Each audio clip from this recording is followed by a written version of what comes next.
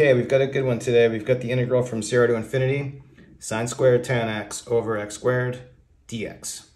Okay, this one kind of came about, this one came about from another video I did because not too far back, I did an integral that was just basically the same thing, but we had an x here instead of a tangent. And this one right here is a perfectly good case where you can use Lobachevsky's integral. The only problem is it's so simple because there's nothing in our formula, which we have over here for Lobachevsky's integral, or over here, or over somewhere. If we do it on this one, if you think of it like a one right here, the function in the formula is just one, so it's just kind of a very simple case. Not very good for a video because if this was the problem, we could do the video in like 10 seconds. And I know there is some other ways to do this one, but a good example for me, where I don't have a trivial example to use Lobachevsky's integral, is to have a tan x right here.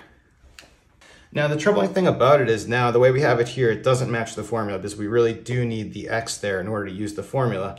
So what I'm gonna do is let's actually just create, let's kind of force this to happen. If I multiply in sine squared x, now we have what we need here and here, but I don't wanna change it, right? So, so we'll multiply by one, just multiplying in sine squared x in the denominator.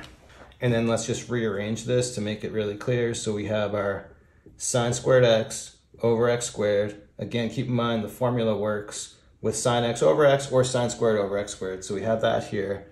And then we'll have all the other stuff. We're going to have sine squared tan x over sine squared.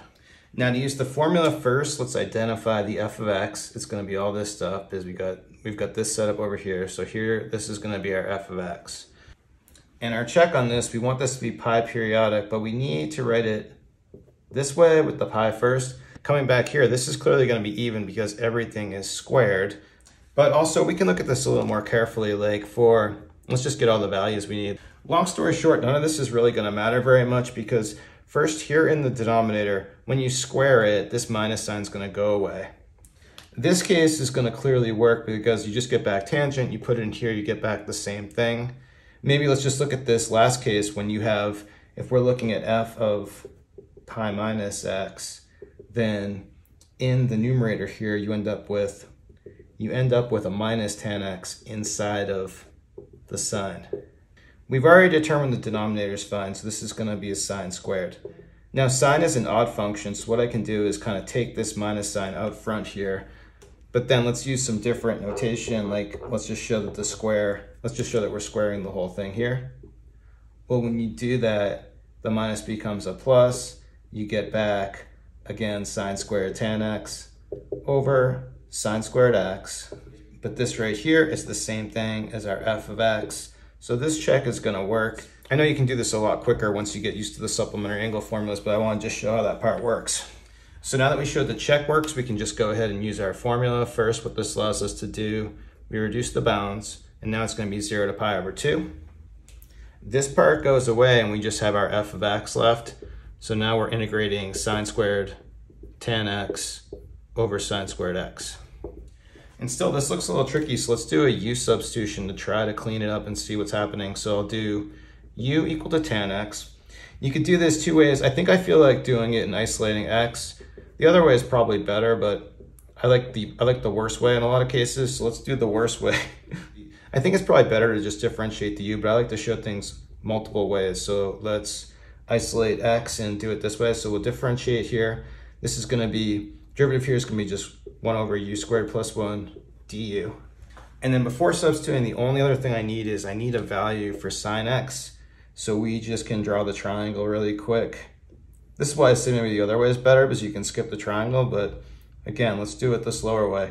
So here, tan x is gonna be drawing our triangle, think of this like u over one.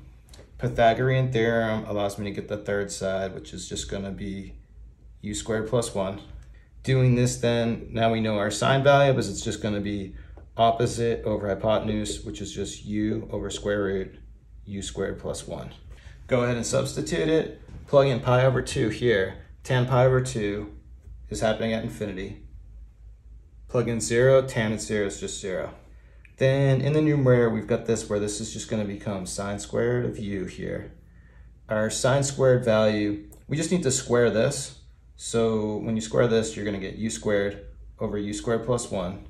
dx is going to be all this stuff here. So let's kind of write it carefully. I'll, I'll write this, yeah, let's kind of write it like this. So we'll multiply in u squared plus 1 here. u squared plus 1 is going to cancel.